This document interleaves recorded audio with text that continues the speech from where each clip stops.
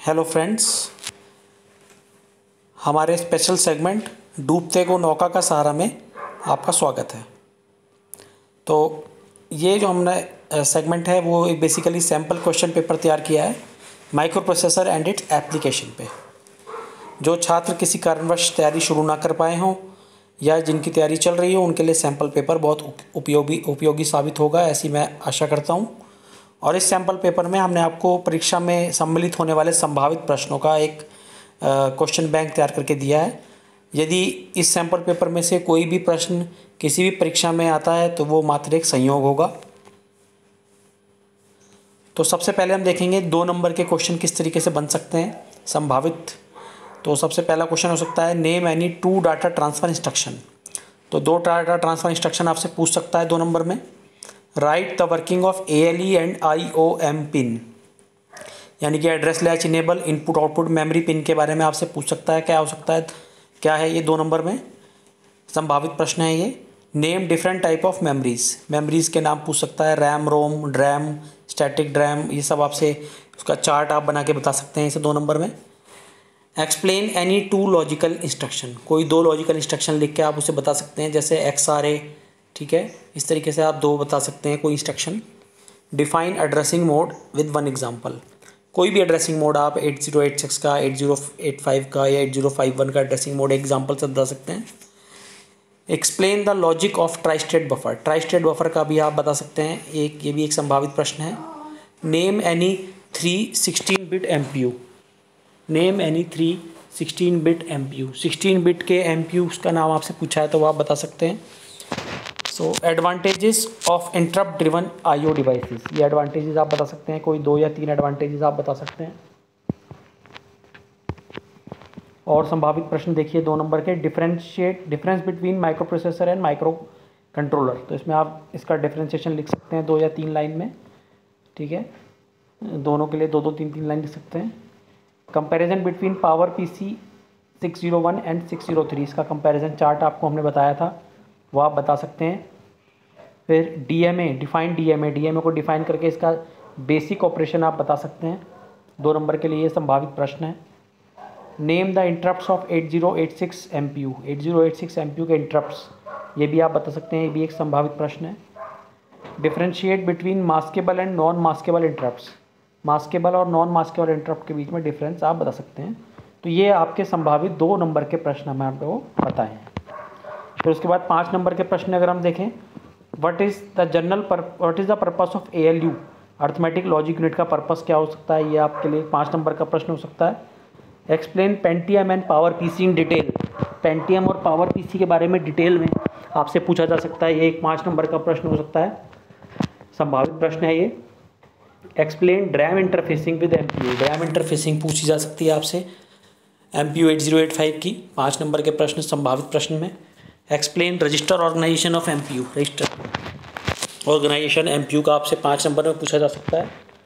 What is the difference between mnemonics and machine codes machine code और mnemonic के बीच में क्या डिफरेंस है? ये पाँच नंबर में आपसे सवाल पूछा जा सकता है। ये एक संभावित प्रश्न है। Explain the evolution of micro processor micro processor का एवोल्यूशन आपको बताएँ तो आप ये बता सकते हैं। एक चार्ट बना के पाँच नंबर में एक आपसे सवाल, संभावित सवाल ये आपसे पूछा जा सकता है। और देखें तो explain the concept of byte organisation in memory explain the interfacing of A to D converter with M P U eight zero eight five ये भी आपसे पाँच नंबर के सवाल पूछे जा सकते हैं। Explain the interrupt of M P U eight zero eight six M P U eight zero eight six के इंटरप्ट आपसे पूछे जा सकते हैं। पाँच नंबर के सवाल। ठीक है? और explain program control instruction program control instructions आपसे पूछे जा सकते हैं। पाँच नंबर में। उसके बाद explain P S W register in M P U eight zero eight five ये एक पाँच नंबर का सवाल हो सकता है। Write a short note on programmable timer eight two five nine इस पर आप शॉर्ट नोट एक करीब पाँच सात दस लाइन का शॉर्ट नोट लिख सकते हैं। इसमें इसको आप बता सकते हैं। और उसके बाद इसका डायग्राम बना के इसकी इंटरफेसिंग आप बता सकते हैं, इसकी पिन से बता सकते हैं। तो ये एक संभावित प्रश्न हो सकता है पाँच नंबर का। फिर नेक्स्ट है what is memory addressing partitioning what is the use of technique this technique in the computer system memory addressing या पार्टीशिंग क्या होता है? इसका कंप्यूटर सिस्टम में क्या उपयोग होता है? ये भी एक पाँच नंबर का संभावित प्रश्न हो सकता है। Explain the difference between M P U and M C using proper diagram यानी कि माइक्रो प्रोसेसर यूनिट और माइक्रो कंट्रोलर यूनिट में डिफरेंस आपसे ब्लॉक डायग्राम के हेल्प से पूछा जा सकता है। पाँच नंबर में संभावित प्रश्न। Write a short note on R S two three two standard ये भी एक पाँच नंबर का संभावित प्रश्न हो सकता है। Explain the register organisation of M P U eight zero eight six M P U eight zero eight six का रजिस्टर ऑर्गेनाइजेशन ये भी एक संभावित प्रश्न हो सकता है पाँच नंबर का। Explain the various type of memories in micro computer system और माइक्रो कंप्यूटर सिस्टम में पाँच नंबर का संभावित प्रश्न ये भी हो सकता है। तो ये आपके पाँच नंबर के संभावित प्रश्न थे। उसके बाद हमने आपको एक ही सैंपल पेपर तैयार करके दिया है, जिसे आप ढाई घंटे बैठ के अगर प्रैक्टिस करेंगे तो आपकी स्पीड और आपको ये भी पता चल जाएगा कि आपको क्या मेहनत करनी है, कहाँ पे आप लैग कर रहे हैं। तो इसके हमने क्वेश्चन कोशिश की है कि पिछले क्वेश्चन से अलग हों ताकि आपके पास क्वेश्चन बैंक और अच्छा तैयार हो सके। तो इसमें देखिए पहले में दो पार्ट जैसे कि आपको करने होते हैं। Explain digital computer system using proper block diagram explain signal C S A L E and I O M in detail write a short note on D M eight two three seven तो इसमें से कोई दो part आपको आते हैं, इस तरीके से आप कर सकते हैं। कोशिश करिएगा कि आप सारी पार्ट कर लें। उसके बाद दूसरे में देखिए write a short note on instruction register program counter and stack pointer explain the memory organisation in M P U eight zero eight five explain eight two five nine PIC in detail तो ये भी आपके संभावित प्रश्न हैं। सभी प्रश्न पाँच नंबर के हैं इसमें।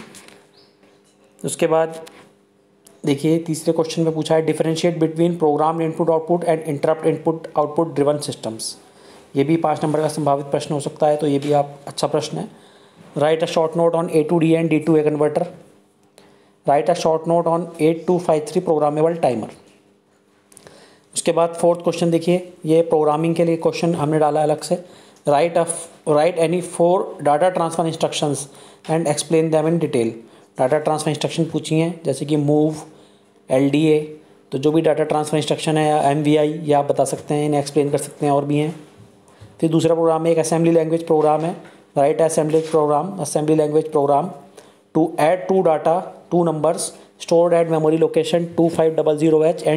zero one H and store the result at memory location two five zero two H तो इसके बाद एक और प्रोग्राम दिया है write assembly language program to compare two eight bit two eight bit data using L D instruction L D instruction का इस्तेमाल करके दो आठ बिट के डाटा को कंपेयर करने के लिए एक प्रोग्राम लिखना है। ये भी एक प्रश्न हो सकता है।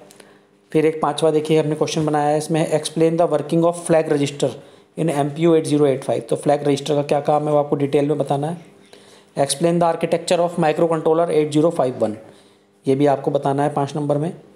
Write a short note on program control instruction program control instruction पे आपको एक शॉर्ट नोट बनाना है। तो ये बेसिकली आपका एक मॉडल क्वेश्चन पेपर हमने तैयार किया है। कोशिश करिएगा ढाई घंटे से पहले इसको सॉल्व कर लें, अच्छे से सॉल्व करें साफ़ साफ़ सॉल्व करें। जब आप ब्लॉक डायग्राम बनाएँ तो ब्लॉक डायग्राम अपनी कॉपी के लेफ़्ट साइड में बनाएँ और राइट साइड में उसे एक्सप्लेन करें, जिससे कि चेक करने में भी चेक करने वाले को भी आसानी होगी और आपको लिखने में भी समस्या नहीं होगी। बार बार पेज पलटने से आपका टाइम भी बचेगा। तो ये एक टिप है, किस तरीके से आपको उसमें लिखना है। ठीक है ब्लॉक डायग्राम आप कोशिश करें पेंसिल से बनाएँ। अगर आप चाहते हैं कि आपके इस टेस्ट को, आपके इस मॉडल पेपर के सॉल्यूशन को मैं चेक करूँ या आपको सजेशंस दूँ, आपको बताऊँ कहाँ गलती हो रही है तो ये मेरी ईमेल आईडी है, इस पर आप इसको भेज सकते हैं। आपको इसका आंसर जो भी है, जैसे ही मेरे को समय मिलेगा, मैं इसका आपको आंसर ज़रूर भेजूँगा। तो ये था आपका बेसिकली एक हमने क्वेश्चन बैंक जो आपको भेजा है micro processor and its application के लिए। थैंक यू वेरी मच अगर आपको ये चैनल पसंद आया हो तो इसे सब्सक्राइब कर लें बेल आइकन पे क्लिक करें और चैनल को सब्सक्राइब करें।